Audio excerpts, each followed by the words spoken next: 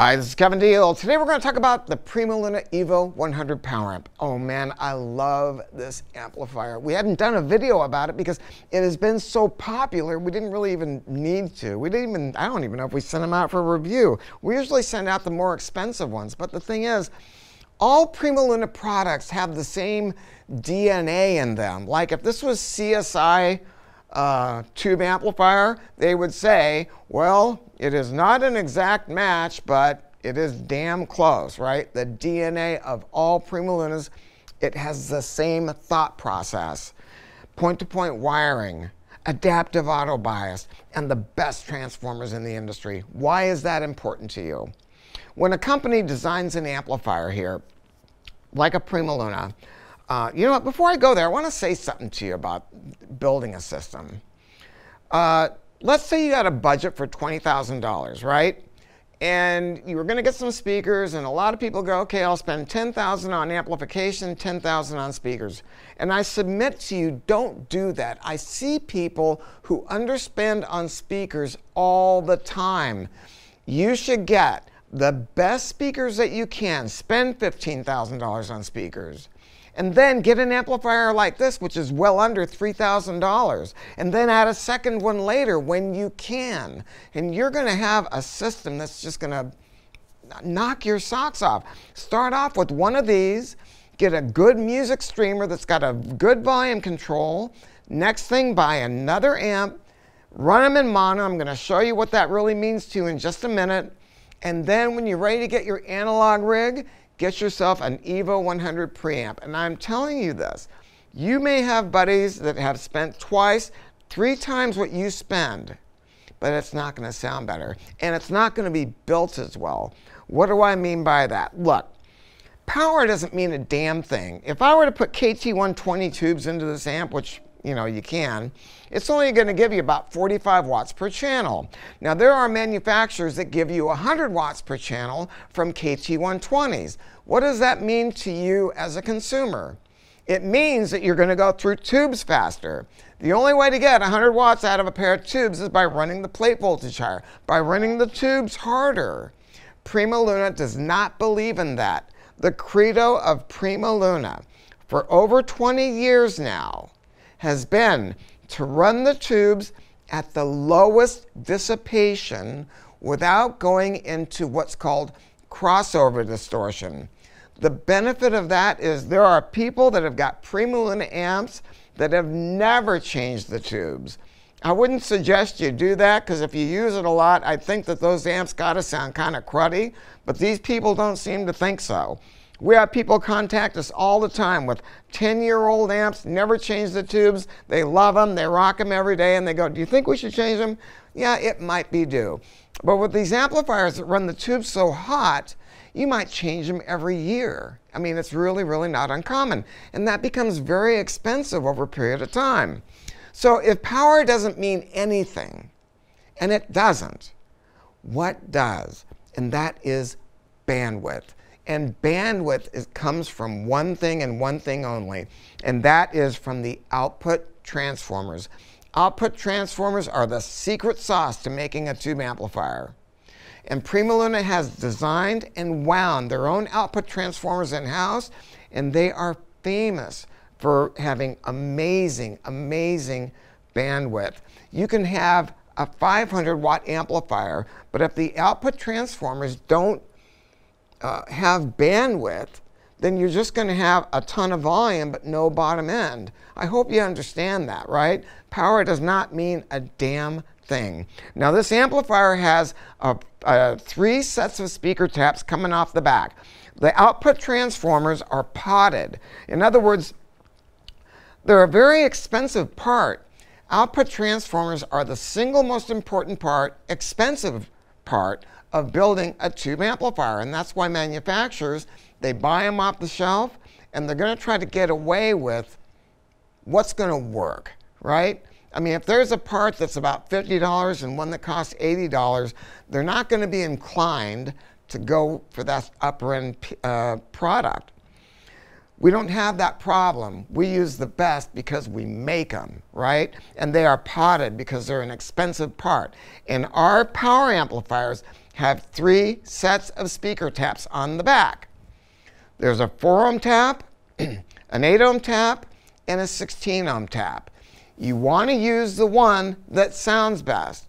If you've got a speaker that says it's an 8 ohm speaker, don't assume that's what's going to sound best. It is critically important, critically important that you try the other taps and use the ones that sound best. I remember decades ago, I had a classic 60 ARC amp and I had a pair of Martin Logan CLSs, and I forget what version they were, but I remember that a lot of people felt that even though it was a low impedance speaker, they sounded best on the 16 ohm tap, right?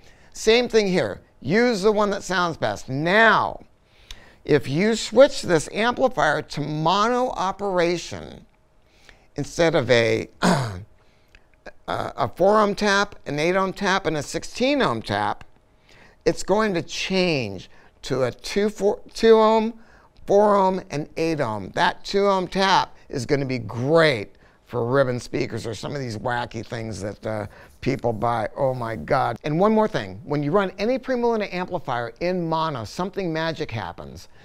The power doubles, but the output impedance drops. And you're going to be running off of dual output transformers, one for the positive leg of the signal, one for the negative leg. And that is something highly unusual in this business, and it is absolute magic. Now let's talk about the other transformers in here.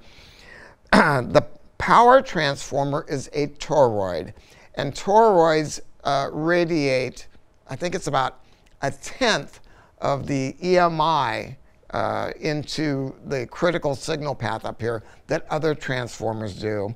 And transform and you know toroids are a lot less efficient. And so they require a lot more material to wind them. Plus, they're not wind as easily as other transformers. That's why a lot of companies just don't use them. But the benefits are less EMI, but there's also less acoustic noise. The acoustic noise can be dropped by, you know, upwards of 70%. In other words, they're not going to hum into the room mechanically. But to make sure that that's dropped even further, this transformer is uh, potted in a can that helps to reduce EMI getting out of the can and the mechanical vibration that can leak into the air. Now, you're going to see something else under this can that's going to be very hard for me to explain, and it's called a choke. There's big Nichicon capacitors that you can't see in this thing, and they're mounted right up here. Nichicons are badass. These are great big Nichicons, 330 cap, 330 uh, uh, microfarad uh, capacitors. They're the ones with the big bayonets on them. They have a, another cap mounted off of that, and that's for to get rid of high frequency hash. that is what's called a, um, a pi circuit. So you've got uh, a capacitor, an inductor, then a capacitor. That's all about dropping the noise floor, dropping the noise floor. It's so hard for us as a company to explain that to people who are always thinking that, I need 100 watts. Why do you need 100 watts? I don't know, the guy at Best Buy said that's what I need is 100 watts. No, we build the amplifier to drop the noise floor, drop the noise floor. The difference, look, dynamic range comes from the difference between light and dark and loud and soft drop the noise floor. Oh my God. Now, going up front from here, you're going to see our beautiful adaptive auto bias board. PrimaLuna invented a truly adaptive auto bias. I've seen companies call their boards auto bias and they are nothing like that. They're just a servo, right? So you set the bias once and if you have to change the tubes, you have to reset it. That's not auto bias. Our adaptive auto bias cuts distortion, and more importantly, it cuts distortion when you turn it up and as the tubes age. These tubes are not going to age evenly. They're not. One of them is going to get droopy prematurely.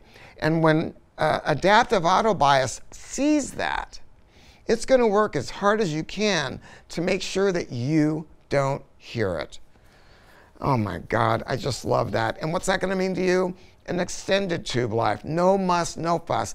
And if a tube fails on this amp, there's a little LED to tell you which tube failed.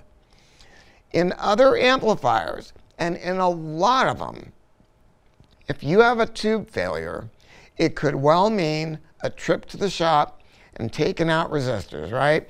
Uh, cathode resistors, screen resistors, whatever. I mean, I've been, I've changed more resistors in my lifetime than I care to think about. Not in a PrimaLuna. At the first hint of a problem, there's a box right there. That is a relay.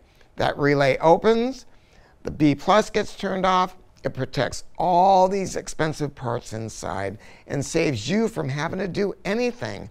All you got to do is go, oh my God, there's no music. What happened? now, it could be that there's just a burp that happened in your system. Turn the amp off, let it sit for five minutes, turn it back on. In fact, I would take that tube, pull it out, and reseat it. Turn the amp back on. If it lights up again, then you probably got a bad tube. Just go ahead and replace it. You don't have to replace all the tubes. You don't have to worry about matched tubes. You don't even have to use the right tube. I could run three EL34s and one KT120 right here. The amp would sound beautiful. Would you want to do that? You could. I mean, it's not optimum, but you could because adaptive auto bias is so, so powerful. The entire signal path, the signal path is point-to-point -point wired. That's the way to do it. Look at you're going to see $10,000 amplifiers where the tubes are mounted to a printed circuit board. What's the problem with that? When you wiggle this tube, it's, it's going to make that circuit board flex. When the board gets old and becomes brittle, it can break the traces in the board. We wanted to avoid that. We wanted to build something that grandma could own, that people can own for a lifetime.